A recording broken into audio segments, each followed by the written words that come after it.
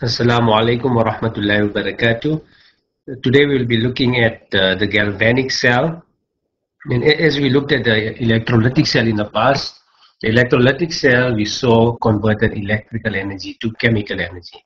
Now when it comes to the galvanic cell, we see that this is the opposite, where we have chemicals, we have chemicals, zinc sulfate solution, copper sulfate solution, and we see that the chemicals create a voltage or create electricity. And that is the difference between the two cells that we have.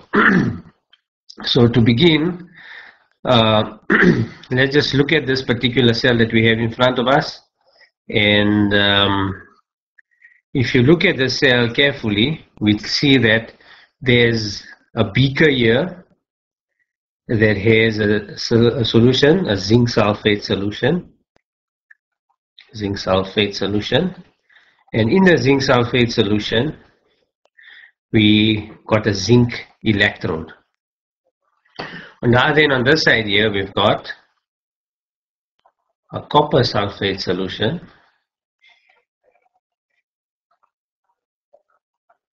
Copper sulfate solution, which is the blue color as we can see. And we've got a copper electrode that's placed in the copper half cell.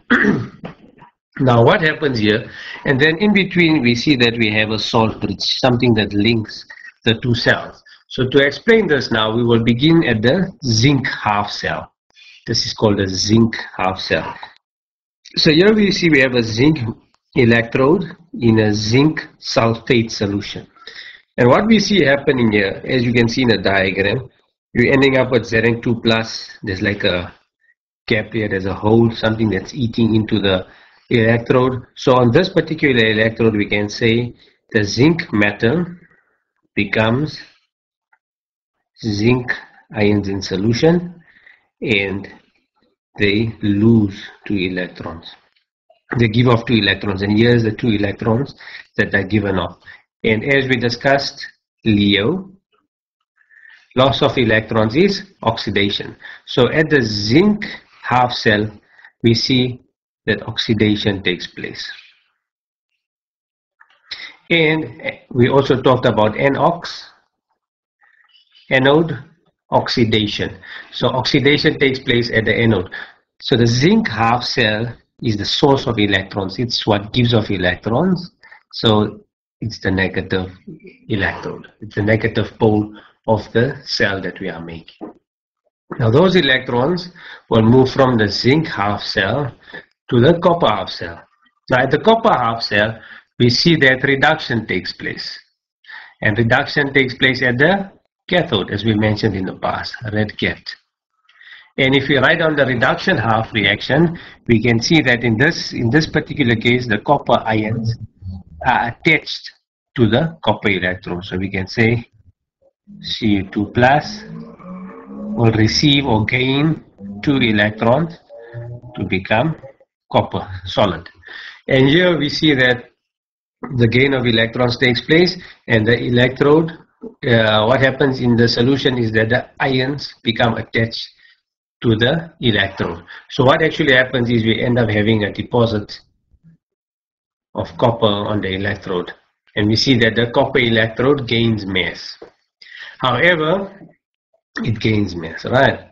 But if you look at the zinc electrode, what happens is the zinc metal goes into solution. So it's, so to say, dissolving. So it loses mass. So it loses mass. Loss of mass. So it loses mass. So this is what's important. We have to see that the zinc half cell and the copper half cell are opposites. At the zinc half cell, oxidation takes place. There's a loss of electrons. The zinc metal becomes zinc ions in solution by giving off electrons. It supplies electrons and the zinc um, electrode loses mass. On the other hand, the copper electrode gains mass.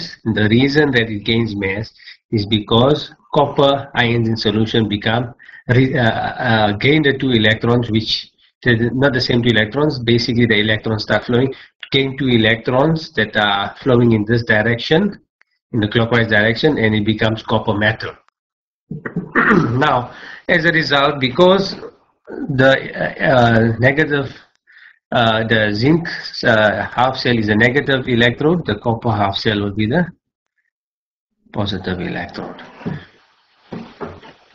Now we have the salt bridge. Without the salt bridge, what happens is that if you look at it, uh, electrons are going from the zinc half cell to the copper half cell.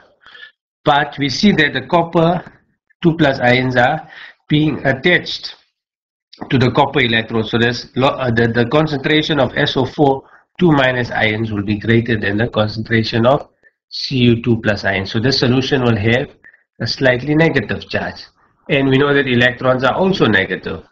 So the negative charge of the electrons and the negative ions in solution will create some type of repulsion. So it's going to block the flow of electrons coming through. So to get rid of that excess, excess negative charge, we have a salt bridge. And in a salt bridge, you put a salt, maybe it can be KNO3, it can be NaCl, just depending on what solution you have here. You have to be careful with the Cl because if you have a silver half cell, then AgCl creates a precipitate. So KNO3 is the safest option to use. So because we have lots of SO4 2 minus ions in here, we see that this is K plus and NO3 minus. So the K plus ions will move towards this half cell. On the other hand, if you look at the zinc half cell, there's lots of zinc metal becoming zinc 2 plus ions in solution. So there's lots of positive ions in solution. So this half cell is becoming positive and if the electrons are negative and the solution is positive, there will be some type of an attraction. So there will be resistance to the flow of electrons. So to eliminate that excess positive charge in this half cell, we get the NO3 minus ions from the salt bridge going this way. And they will attract the Zn2 plus ions and that will neutralize the excess positive charge. So what the salt bridge does is that it maintains electrical neutrality between the two half cells. We looked at a galvanic cell and we've seen that um, the negative cell, the zinc half cell, is negative because it is the source of electrons and the copper half cell is positive because it receives electrons. So if you look at the two half cells, the zinc half cell, we can write down this equation here. Zn becomes Zn2 plus, plus 2 electrons, that's your oxidation half cell. And if you look at the copper half cell, we can write down this equation here, which is copper 2 plus plus 3 electrons gives you copper. And taking this further, we can now write down the net ionic reaction. So if you look at this, if you write down the net, net ionic reaction, we can say that as a result here, we end up with copper 2 plus plus Zn. Try and put the uh, arrows below each other as far as possible. Will become Zn2 plus plus Cu. And we see that that's so because the electrons cancel each other out. And this is the net ionic reaction that we can get from this particular reaction.